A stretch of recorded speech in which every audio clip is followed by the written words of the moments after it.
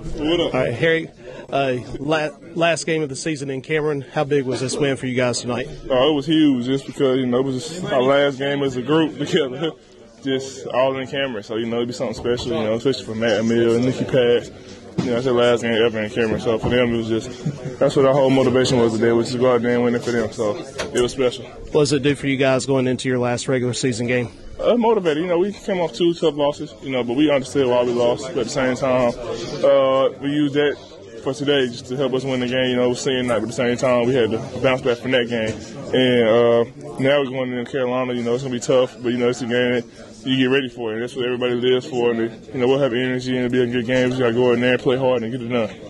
And uh, what are you looking to improve on the most getting into the tournament season after that game? Uh, just keep improving my game. Just, you know, just keep developing as a player. Uh, still playing, you know, within the team. Just make sure I develop. Uh, helping the team get better too. So that's the main thing.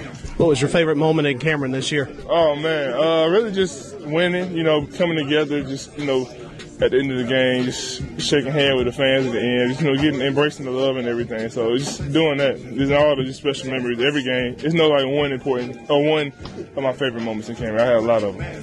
Thanks.